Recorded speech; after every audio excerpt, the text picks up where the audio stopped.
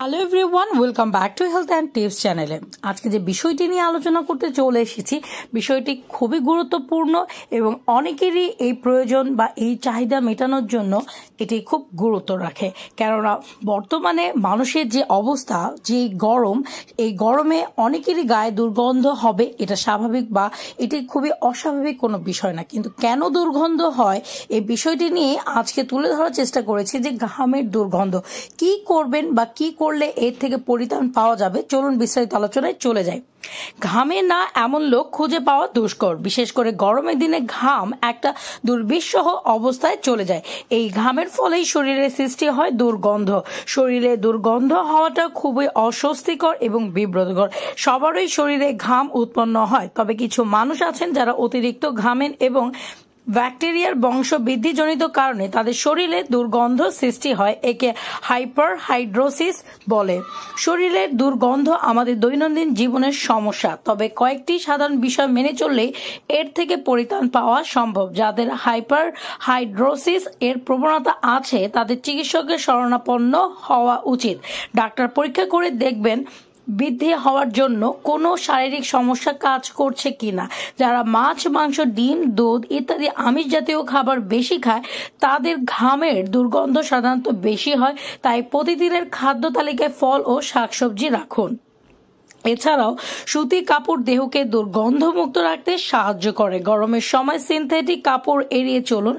কাপড় চোপড় বিশেষ করে অন্তর্বাস নিয়মিত বদলাতে হবে এবং ধুয়ে পড়তে হবে। নিয়মিত পরিচ্ছন্নতার দিকে নজর দিন। অবাঞ্ছিত লোম নিয়মিত পরিষ্কার করুন। এতে যেমন ঘাম নির্গমনের সময়কার অস্বস্তি দূর হবে, তেমনি ব্যাকটেরিয়া জন্মাতেও বাধা দেবে। প্রতিদিন গোসল করতে হবে। গোসলের পানিতে গোলাপ জল ব্যবহার করুন। এতে ঘামের পরিমাণ কমবে, মানসিক চাপ কমবে। পটাশিয়াম অ্যালার্ম নামের এক ধরনের লবণ থেকে তৈরি মিনারেল ডিওডোরেন্ট পাওয়া যায়, যা পানিতে ভিজিয়ে কালে ডোলে লাগালে ভালো কাজ দেয়। প্রচুর পরিমাণে পানি পান করতে হবে। পানি আপনার দেহকে ভেতর থেকে পরিষ্কার করবে। এর ফলে ত্বকের ভেতরের ও বাইরের ব্যাকটেরিয়াগুলো দূর হয়ে যায়। বেকিং সোডা বহু বছর থেকেই বাজে গন্ধ দূর করতে ব্যবহার হয়ে আসছে। গোসলের পর সামান্য বেকিং সোডা হাতে নিয়ে কালো গায়ে লাগালে সুগন্ধে আয়ত্তে রাখা যাবে। অনেকে ঘাম কমাতে ট্যালকম পাউডার ব্যবহার করে থাকে। এইসব ট্যালকম পাউডার আসলে কতটুকু ভালো? ভালো বা সঠিক সে ব্যাপারে লক্ষ্য করতে হবে। এছাড়াও এই পাউডারগুলো ঘাম শুষে নিয়ে ত্বকে শুষ্কতা প্রদান করে কিনা, তবে এসব পাউডার ব্যবহার করার আগে দেখতে হবে তার পিএইচ লেভেল ঠিক আছে কিনা। বাজারে প্রচলিত ঘাম নিরোধক স্প্রে বা রোল অন ব্যবহারে সতর্ক হতে হবে, কারণ এসবে নানা ধরনের বিষাক্ত কেমিক্যাল এবং ত্বকের জন্য ক্ষতিকর অ্যালুমিনিয়াম থাকে।